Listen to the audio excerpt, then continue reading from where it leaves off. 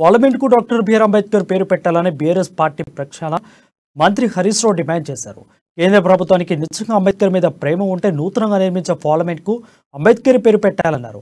సిద్దిపేట జిల్లా చిన్నకొడూరు మండలం అల్లీపూర్ గ్రామంలో జడ్పీ చైర్మన్ రోజా రాధాకృష్ణ శర్మతో కలిసి డాక్టర్ బిఆర్ అంబేద్కర్ విగ్రహావిష్కరణ చేశారు. ఈ సందర్భంగా ఏర్పాటు చేసిన సమావేశంలో మంత్రి మాట్లాడుతూ రాజ్యాంగ నిర్మాత మనందరి హక్కులు సమానత్వం కోసం పోరాడిన మహనీయుడు అంబేద్కర్ విగ్రహాన్ని బుద్ధ పౌర్ణిమ రోజున ఆవిష్కరించడం ఎంతో సంతోషంగా ఉందని అన్నారు.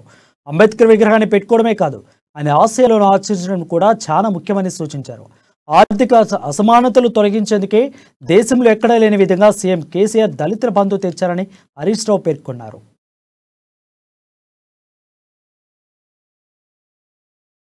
దశల వారీగా. మీరే సంఘం కూర్చొని కులమే కూర్చొని డిసైడ్ చేయండి. కొంతమంది పేర్లు నాకు ఇవ్వండి రెండు మూడు ఫేజ్ల కింద దళిత బంధు కూడా ఈ గ్రామానికి అందిస్తా అని చెప్పి కూడా మనం చేస్తా ఉన్నాం.